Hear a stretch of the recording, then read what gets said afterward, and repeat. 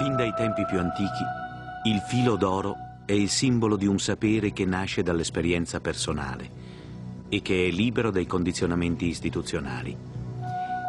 È un filo perché rappresenta la continuità di un'esperienza sempre antica e sempre nuova.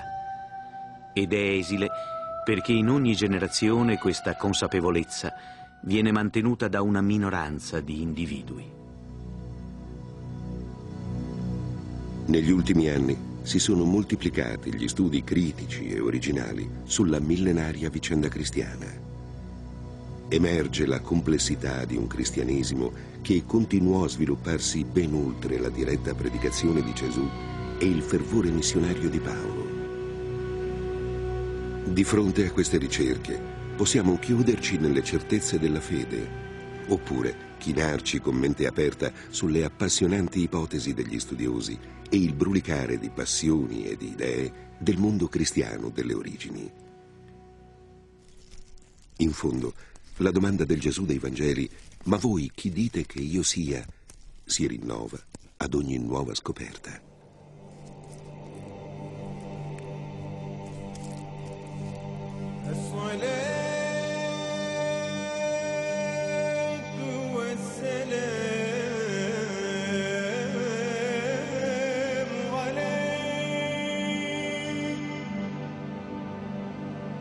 Non molti anni fa, l'ebraicità di Gesù era ancora argomento di accesi dibattiti.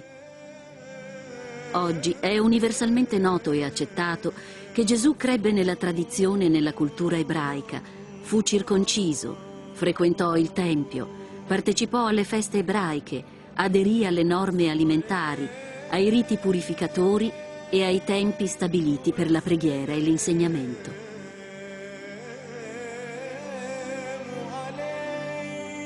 Una volta adulto, tra le perplessità dei familiari, iniziò una missione di predicazione itinerante. Radunò un certo numero di discepoli, donne e uomini, tutti ebrei di nascita e di educazione, e insegnò loro la sua interpretazione della legge ebraica.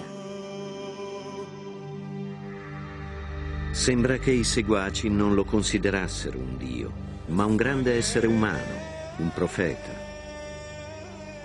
Gesù stesso non si definì divino o figlio di Dio, ma figlio dell'uomo o figlio del vivente.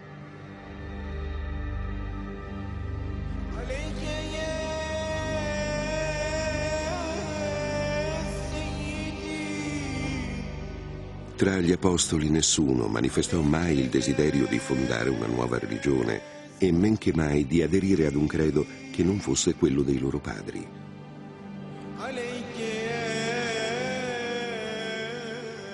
Nessuno di loro si definì mai cristiano, perché il termine stesso non era ancora entrato in uso. È storicamente certo che alcuni discepoli consideravano Gesù il Messia lungamente atteso, giunto a liberare il suo popolo dalla dominazione romana. Gesù era il centro di dispute e disordini. A un certo punto i capi del suo popolo lo fecero arrestare lo consegnarono ai romani, che lo misero sotto processo per sedizione contro lo Stato e lo fecero giustiziare con l'accusa di aver affermato di essere il re dei giudei.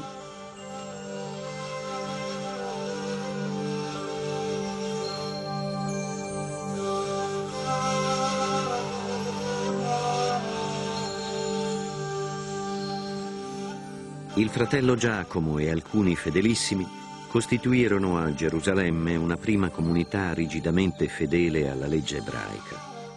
In sostanza si distinguevano dalla fede degli altri ebrei principalmente per la credenza nell'immediato ritorno di Gesù. Se Gesù fosse tornato sulla terra, avrebbe trovato la sua comunità divisa, dilaniata dagli scontri sui dettami biblici.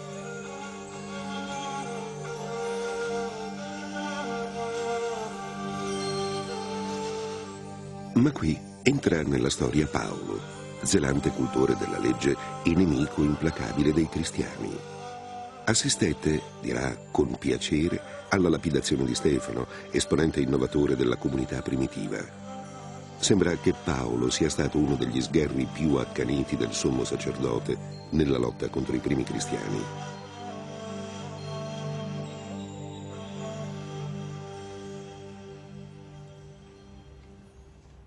La religione cristiana è stata in un certo senso inventata da Paolo, un fariseo che non aveva mai conosciuto personalmente Gesù e che cominciò a predicarne il messaggio 50 anni dopo la sua morte, basandosi su una presunta rivelazione celeste.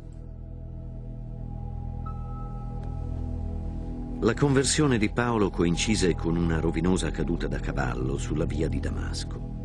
Narrano i Vangeli che lo avvolse una luce dal cielo e cadendo a terra udì una voce che gli diceva Saulo, Saulo, perché mi perseguiti?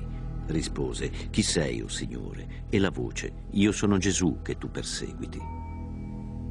Da quel momento il persecutore dei cristiani si trasformò nel più accanito difensore della fede. Paolo ripeterà per tutta la vita che tutto ciò che egli sa gli è stato rivelato. Il rapporto privilegiato con Dio è continuato oltre il momento della conversione, rendendolo per sempre pari agli altri apostoli e anzi superiore ad alcuni di loro. Gli scontri con gli apostoli erano frequenti e molto accesi.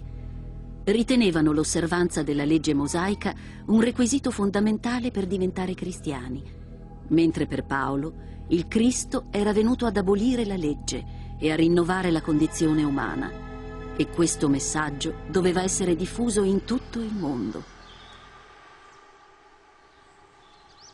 I cosiddetti pagani, un termine inventato dai cristiani, non erano dei contadinotti ignoranti come si potrebbe essere indotti a credere, ma popolazioni con una varietà culturale e religiosa molto sfaccettata e ricca di sfumature.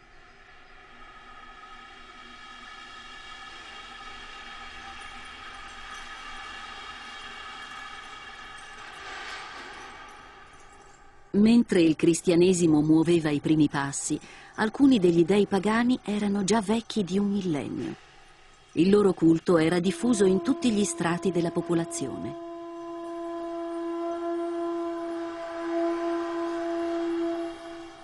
Molti ebrei vivevano in diaspora, cioè fuori dai confini della terra di Israele.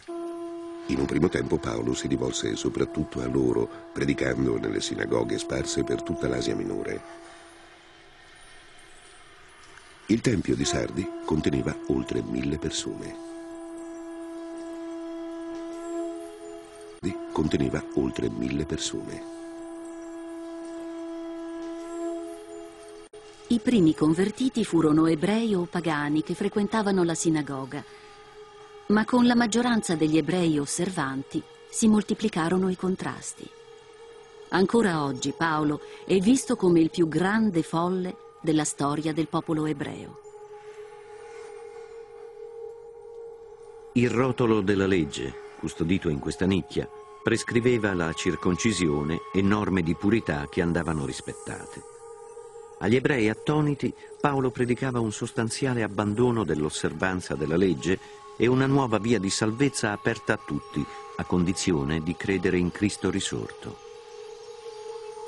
La scandalosa richiesta di accettare come salvatore un presunto messia politicamente fallito provocò ovunque grandissima indignazione. Ma come? dicevano gli ebrei. Siamo il popolo eletto. Il nostro Dio ci ha dato una legge che prescrive come adorarlo e vivere in comunità e ora arriva un oscuro pseudo-apostolo che in base ad un breve incontro visionario sostiene che il Messia è già arrivato e che il patto che Dio aveva stabilito con il nostro popolo non ha più nessun valore. Cacciato dalle splendide e opulenti sinagoghe, percosso, quasi lapidato come bestemmiatore contro Dio, Paolo decide di predicare d'ora in avanti solo ai pagani.